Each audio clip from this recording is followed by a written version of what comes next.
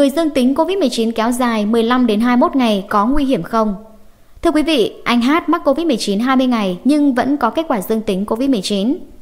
Tôi chỉ hơi ngạt mũi đau người không có triệu chứng gì nặng. Trong gia đình có vợ con âm tính sau 10 ngày, nhưng tôi thì vẫn dương tính. Sức khỏe trước đây thì khá tốt, không có bệnh nền, bởi vậy tôi lo lắng quá. Không biết việc dương tính kéo dài như vậy có nguy hiểm không? Anh Hát nói. Trao đổi với phóng viên, tiến sĩ bác sĩ Hoàng Thanh Tuấn, phó chủ nhiệm khoa phẫu thuật tạo hình thẩm mỹ và tái tạo, Viện Bỏng Quốc gia cho biết, trong quá trình tư vấn cho F0, bác sĩ khảo sát trên nhóm tư vấn ghi nhận có khoảng 20% bệnh nhân COVID-19 gặp tình trạng dương tính kéo dài đến 3 tuần.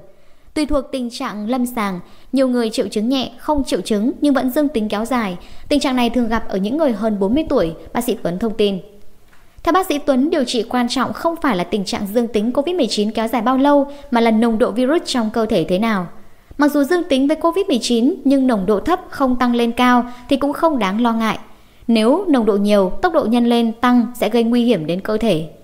Một số trường hợp cần chú ý theo dõi như những người có hệ miễn dịch suy giảm, có bệnh lý nền. Và đối tượng này có thể chủ động dùng thuốc kháng virus sớm, tránh tình trạng dương tính kéo dài, làm suy giảm sức khỏe. Cơ thể luôn phải chống chọi với virus trong thời gian dài, có thể làm ảnh hưởng đến các cơ quan khác của người bệnh.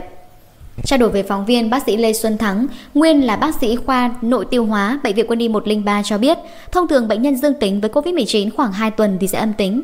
Đây chính là lý do Bộ Y tế quy định thời gian cách ly F0 là 14 ngày.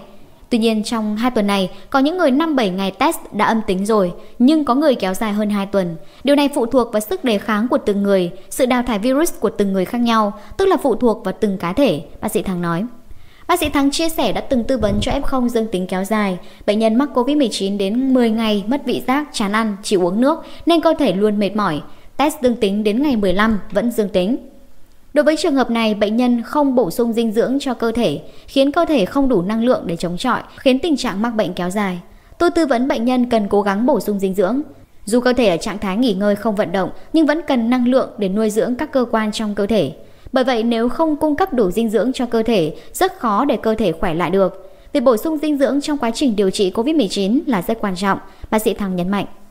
Chia sẻ về việc mắc COVID-19 kéo dài có nguy hiểm không, bác sĩ Thắng nói tình trạng này làm ảnh hưởng đến hệ miễn dịch, giảm sức đề kháng của cơ thể, gây tăng nguy cơ nhiễm khuẩn bội phát cho người bệnh. Bên cạnh đó, những người có triệu chứng nhẹ hoặc không triệu chứng có thể chủ quan gây lây lan dịch bệnh. Để hạn chế tình trạng mắc COVID-19 kéo dài, người bệnh phải giữ vững tinh thần thoải mái, ăn uống thêm hoa quả, bổ sung dinh dưỡng để cơ thể tăng đề kháng, tập luyện thể thao nhẹ nhàng. Cơ thể khỏe mạnh mới có thể nhanh chóng hồi phục, bác sĩ Thắng khuyến cáo.